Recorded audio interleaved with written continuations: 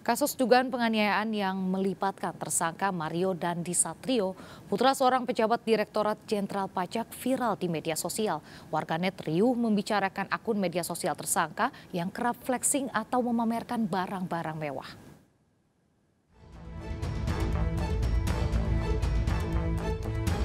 Penyidikan kasus dugaan penganiayaan dengan tersangka Mario Dandi Satrio, putra seorang pejabat Direktorat Jenderal Pajak, terus berjalan polisi telah melakukan olah TKP di lokasi kejadian kawasan Ulu Jami, Jakarta Selatan.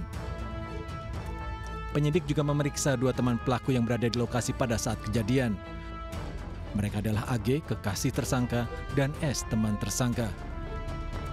Namun yang menghebohkan adalah kegaduhan di media sosial.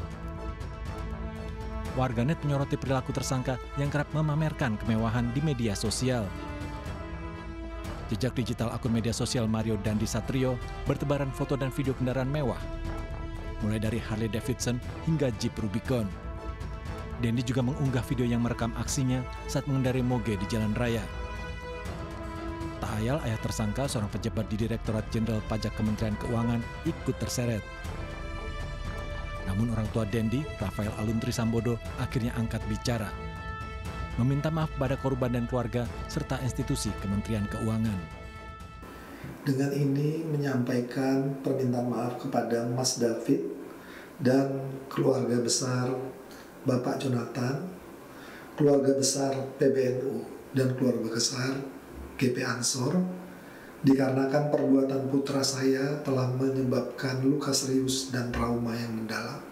Saya siap memberikan klarifikasi terkait harta kekayaan yang saya miliki.